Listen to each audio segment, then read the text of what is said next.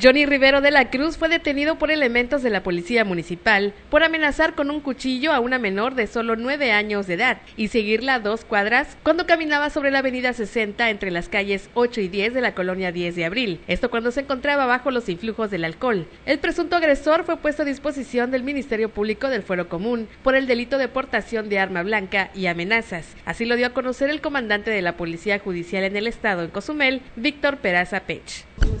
Claro que sí, mire, tenemos a un detenido de nombre Johnny Rivero Cruz, que se encuentra relacionado con la averiguación previa 254 de 2011 por el delito de portación de armas prohibidas. Entonces está en agravio de la sociedad. Esta persona amenazó a una menor de 9 años de edad, ¿sí?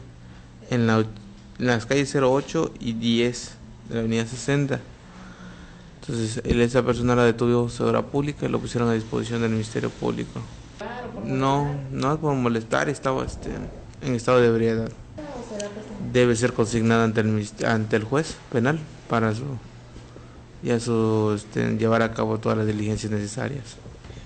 Por otra parte, el jefe de los judiciales dijo que con el personal que tiene a su cargo se estará trabajando en las investigaciones por las altas demandas de robo a motocicletas y casa habitación para detener a los presuntos responsables de estos atracos y no esperará a que le envíen más agentes para echar a andar el trabajo de investigación.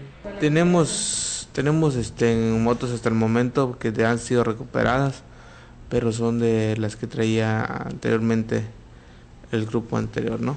Entonces ahorita estamos haciendo una labor de investigación en donde hemos tenido información que probablemente hay motos que han recuperado los compañeros de seguridad pública y tránsito y se encuentran en su carro, en su corralón, pero que no han sido identificadas. Entonces tenemos que ver la identificación para poder darle conocimiento a los agraviados. Mira, tenemos el, el, personal que tenemos, con el personal que tenemos con eso vamos a tratar de trabajar y poder solventar las carencias, ¿no?